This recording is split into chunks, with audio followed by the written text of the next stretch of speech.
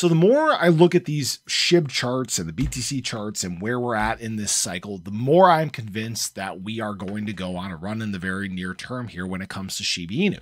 Now, it's tough to really gauge because we don't have multiple market cycle data for SHIB. So we have to reference BTC. And I've said many times that when we look at the BTC charts, we are very, very similar to what we experienced back in 2016.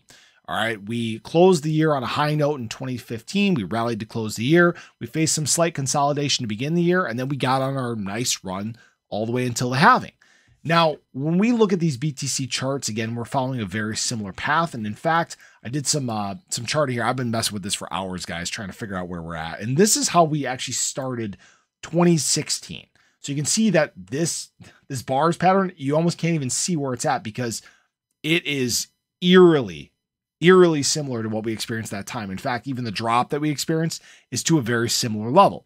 Now, where this gets a little tricky is at that time, the halving was at a, a, later time in the year. All right. There was more time for the charts to do this, to go on a bigger retracement. Some might say that we could go down to 38K.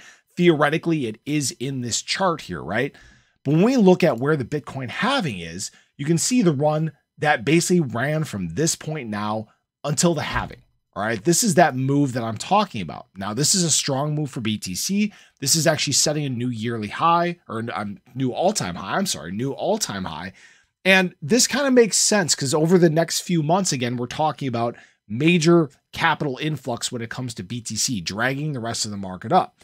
Now, again, during these times, this is when you have altcoins gaining dominance over BTC. It happens cycle after cycle after cycle. Bitcoin is losing dominance in the market. Maybe kind of a weird scenario where it, it stays pretty consistent with the last market cycle because of these spot Bitcoin ETFs. When we look at this SHIB chart again, I'll reference back to this very bullish move that we're looking at making here. Again, we're playing into this five wave pattern. We're following this perfectly. And this is looking at the pump that we had to begin 2023. That may pale in comparison to what we may experience. It may be not quite enough, right? It's possible that we could also turn this into a head and shoulders pattern. We could flip over, create the right shoulder, come down, test this fire sale range again. Who really knows at this point, right?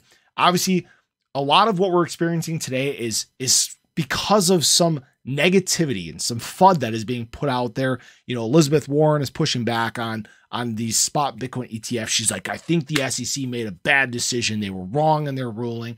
And then we have Gary Gensler coming out today and basically bashing the approvals they just made. Oh, yeah, Bitcoin's a speculative, volatile asset that's used for drugs and money laundering and all this crap. And they cannot get him out of the SEC fast enough. It is, it is really crippling the industry right now. He is a terrible face that does not need to be associated with crypto or the SEC in any way.